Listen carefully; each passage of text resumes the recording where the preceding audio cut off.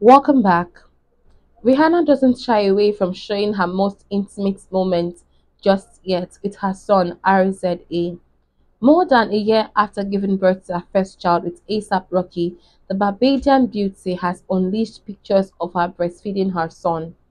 The singer, who is currently pregnant with her second child, posed with his son RZA in a new campaign for Savage and Fenty maternity capsule collection for moms and moms to be.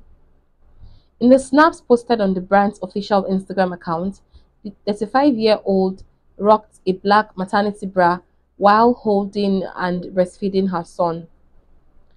Not looking awkward at all, the Grammy winning artist flashed a small smile while her son put one of his hands on her bare breast in one of the photos.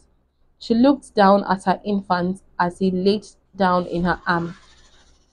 Rihanna sported ultra glossy blowouts and dewy makeup for a glamorous look as she also rocked freshly manicured nails, which were painted white.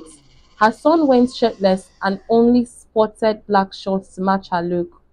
Not Your Mama's maternity bras designed by Archibald Gariri, approved by Baby RZA. Savage and Fenty's official Instagram account captioned the post.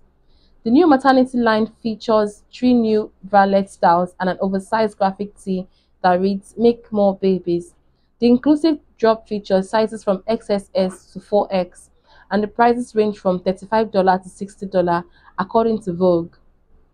The new maternity capsule is about bringing that confidence and comfort to moms at every stage of their journeys. The single entrepreneur told the magazine, I want to remind people that you can still channel sexiness and feel good while being a parent. Rihanna welcomed her first child, a son named RZA, Athelston Mayers in May 2022 during her Super Bowl 57 halftime performance in February of this year. The Diamond hitmaker revealed that she's pregnant with her second child. Thanks for listening.